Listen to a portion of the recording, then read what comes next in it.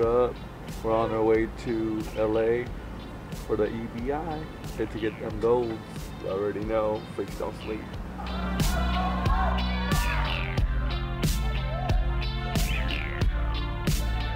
Don't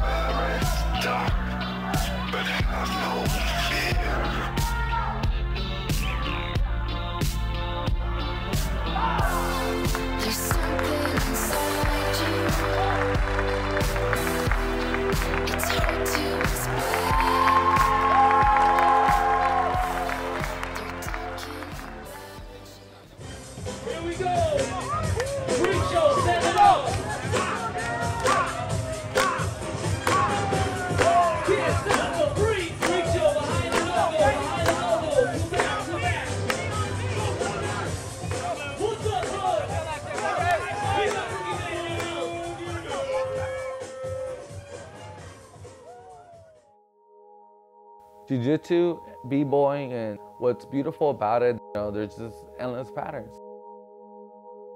Off your back, on your head, on your shoulder.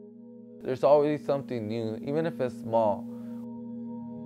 There's constantly new transitions, new movements.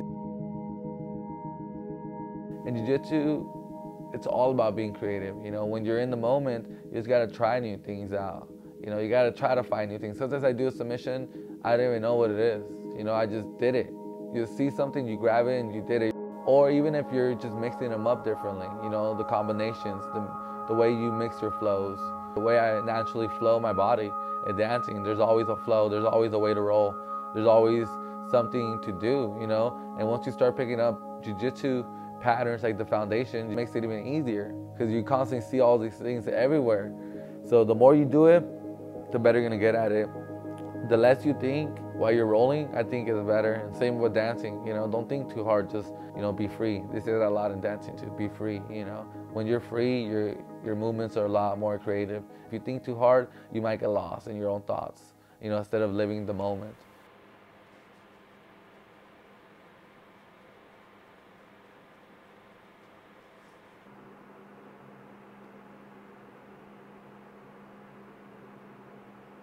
Hey, we took the bus.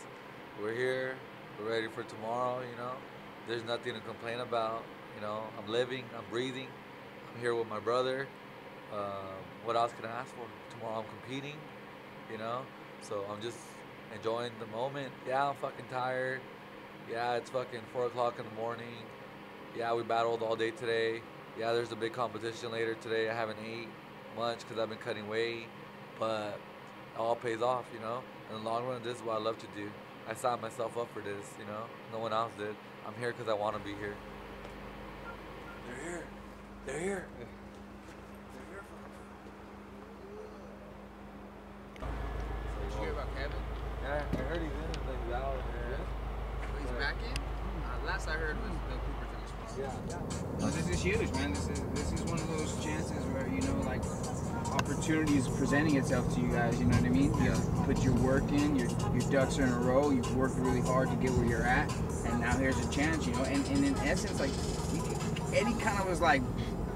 You know, he built this platform to kind of present you guys, you know? So it's like, this is one of those chances. It's like, you guys are ready, man. It's your time, you know? we decided to make a crew, me and my brother, called the Freak Show, meaning the Freak Show, we're gonna be different. We're gonna accept everybody, all the freaks, all the individuals that were different. We don't wanna be robots. We don't wanna be cheap, you know, doing what everyone else is doing. We just wanna be ourselves and we wanna do what we're passionate about and what makes us truly happy.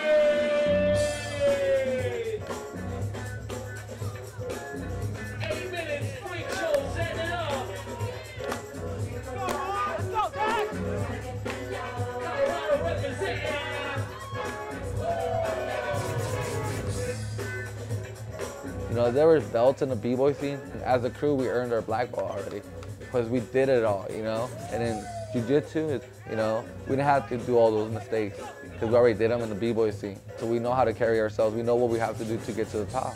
You know, keep your head down and work. Your jiu-jitsu is gonna do the talking. Your art is what does the talking. Here we go. To the judges. One, two, three. Keep it up. Keep it up. Who's that? Good Styles crew. in the b-boy scene, I'd rather smoke you, you know, than choke you out. Because to me, if someone smokes me and destroys me on the dance floor, that hurts more. You know, that that's a punishment right there. I guess you get checked a lot more in jiu-jitsu and MMA. They you get checked a lot. And dancing, you know, you don't really get checked because you could be naive and just be like, my style is the best. I win. My opinion wins. I win. You know, a lot of people are gonna win battles just doing what the judges want to do or want them to do. And in jiu-jitsu, it's not really like that. Sometimes it's just submission only when you just choke someone out or you just tap them out. There's no, there's no other ways out. The only way you get out of the match is by losing or winning.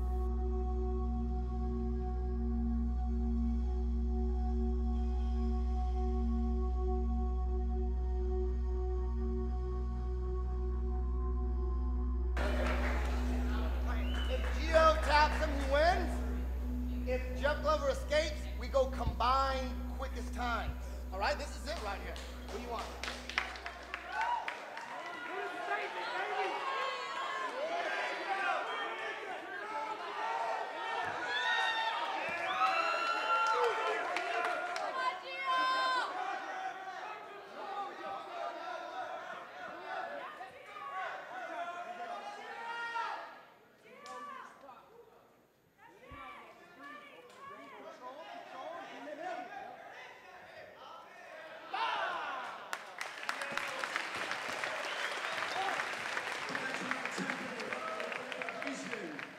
Geo Martinez.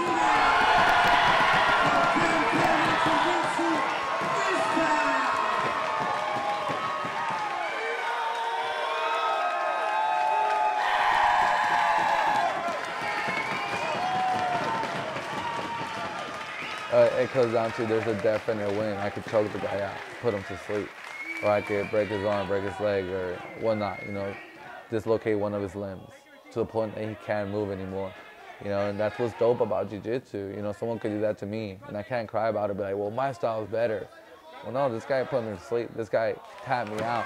You know, so you got to kind of put away that ego. Man, the quality of the finals, like those two guys that we went up against, Jeff Glover and Garry Tonon, those two guys are world elite grapplers, you know, the best of the best. Um, me and my brother were just some fucking b-boys that came out of nowhere, and now we're making noise, we're making waves in the jiu-jitsu world.